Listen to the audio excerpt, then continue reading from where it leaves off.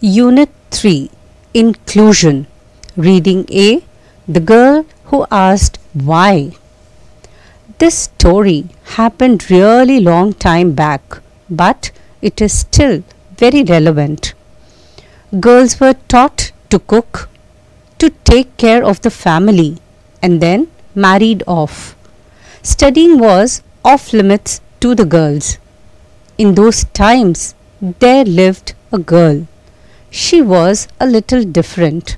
She always had lots of questions in her mind.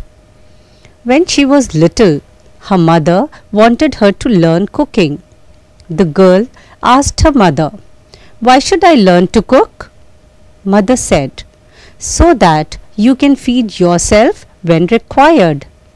The girl said, Fair enough, and learned to cook. After some time, her mother wanted to teach her household work. The girl again asked, Why?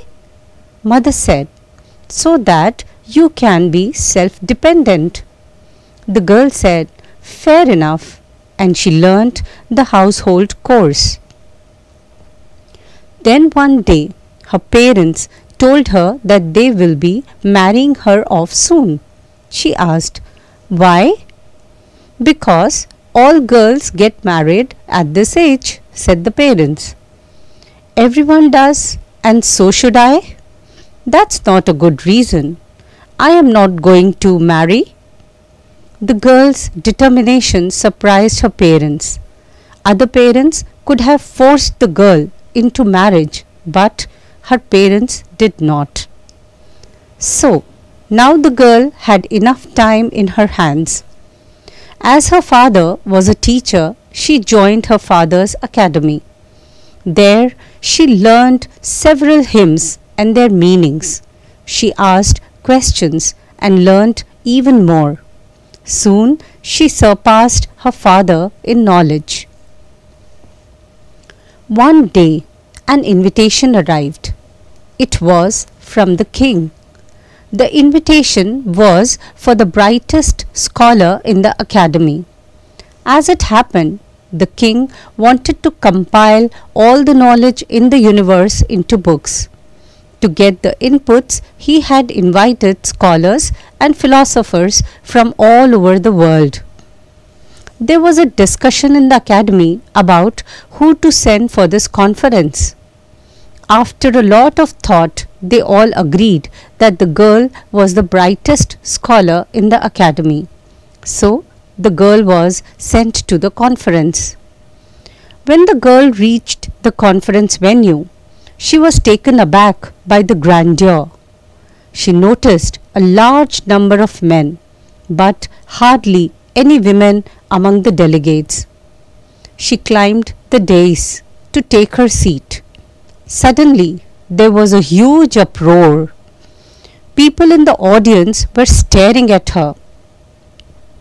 A woman who thinks she can sit on the scholars' panel? Preposterous! screamed someone. Look at her clothes, so provoking. I don't think she is female of good reputation, declared another. Stop her! It's a sin against God. Everybody looked at the king for a solution. The king pondered for a moment. Girl, there is some misunderstanding. A woman can't sit on the scholars' panel unless she is accompanied by a man. Pardon me, Your Grace, but I was invited to join the discussion, said the girl. I don't remember inviting you, said the king. You sent the invitation for the brightest scholar in my academy. I am the brightest in my academy. On the invitation, there was nothing about only male scholars being allowed, answered the girl. The king gave a little chuckle. You have made a good point. I have no objection, said the king.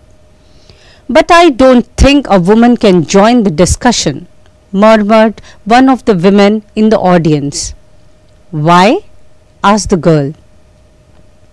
You will not feel comfortable around so many men, answered another woman. I have no problem. My focus is on my work, not men. You don't have to do this. You are not bad looking. You can marry some wealthy gentleman, advised one elderly. The girl ignored him. Let us have a discussion. If the scholars have objections, they can debate with her. If she wins, she can join the panel, said the king. Several liked the solution. They were sure that the girl will be humiliated by the scholars. The scholars on the dais discussed among themselves and selected an elderly scholar as their representative. So, by joining the discussion, what you want to prove? That women are better than men? asked the elderly scholar. No, sir, I don't want to prove anything. I am here to join the discussion, to quench my thirst for knowledge, like all of you, said the girl fearlessly. But greater knowledge is not for women, said the elderly scholar. I beg your pardon, sir, but why? asked the girl. Because female intellect is weaker than men, said the elderly scholar. Says who, sir? It is written in the hymns. May I ask who wrote those hymns? asked the girl. The hymns were written by our forefathers, said the elderly scholar. By forefathers, you mean our male ancestors? asked the girl again. Yes, of course, by our male ancestors, said the elderly scholar. How did our forefathers know that women have a weaker intellect? They noticed, said the elderly scholar, irritated. But how, my lord? Give me an example. How did they notice? asked the girl again. I don't remember, said the elderly scholar. Doesn't matter. Why don't any of you scholars ask me questions to prove my weaker intellect? Many scholars thought of asking her questions, but feared seeing her immense confidence. You ask too many questions, girl, shouted the elderly scholar. He was furious. The atmosphere was tense. Sir, answer her. Why is a female's intellect weaker than a male's? said the king. I need to study, Your Grace, to come up with an example, said the elderly scholar. Then I can't stop her from joining the scholars' panel. She has come here on her own merit.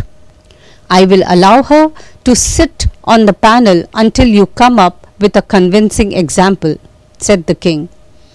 People were still doubtful about the girl's worthiness, but as the discussion progressed, all doubts vanished. Days passed, the girl took part in several discussions, asked many questions, and answered many others other scholars were astonished by her brilliance.